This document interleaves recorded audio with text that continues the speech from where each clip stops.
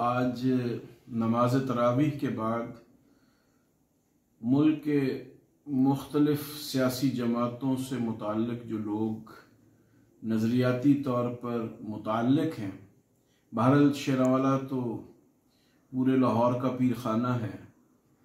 तो साथ ही बहरहाल सियासी इख्तलाफात और मिजाजात में इख्तलाफ के बावजूद मरकज़ में रजू करते हैं सियासी एतबार से तमदनी एतबार से, अखलाकी एतबार से, रवायती एतबार से। तो आज मैंने दोस्तों से कहा कि सुप्रीम कोर्ट ऑफ़ पाकिस्तान ने जब ये कहा कि फला तारीख को पंजाब में इंतबात होंगे तो अपने फैसले में फाजिल चीफ जस्टिस ने यह भी लिखा था कि फला तारीख या जो करीब तरीन काबिल इनकाद इंतबात तारीख हो, उसका ऐलान किया जाए।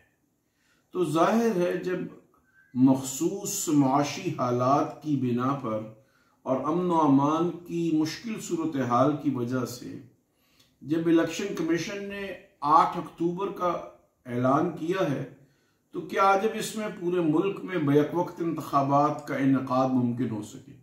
इसलिए कि इंतबात का अलग अलग सूबों की सतह पर इनका ये खुद आइन की और हमारी रवायात की खिलाफ वर्जी है। तो मैं ये समझता हूँ इस चीज़ पर जज्बाती होने की बजाय हमें बड़े इतमान से इस सारे मामले को देखना चाहिए। और मैं अपने फाजिल दोस्त जनाब इमरान खान साहब से ये तो रखूँगा कि वो पी टी आई के जो लोग कौमी असम्बली में नहीं आ रहे, उनको वापस कौमी असम्बली में भेजें। और अक्टूबर, नवंबर, जब तक ये असम्बली चले पी टी आई उसका हिस्सा हो।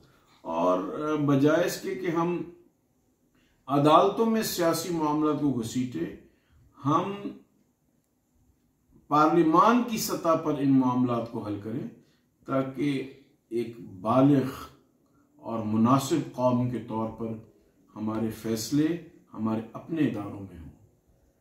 अगर हमने ये ना किया तो हम इर्द गिर्द के लोगों से, बांग्लादेश से, नेपाल से, भूटान से भी पीछे रह जाएँगे, सिक्किम से भी पीछे रह जाएँगे। हम तो पाकिस्तान को एक पहली दुनिया की एटमी ममलकत कहते हैं, इस्लामी एटमी ममलकत। और हमारे अंदाज कितने बचगाना है।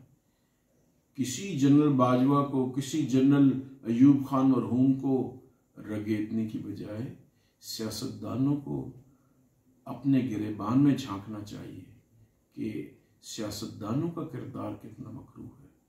अल्लाह ताला इन मामलात को बेहतर करने की तौफीक दे ये इस्टेब्लिशमेंट का काम नहीं है कि हुकूमत करे। ये सियासी जमातों का काम है।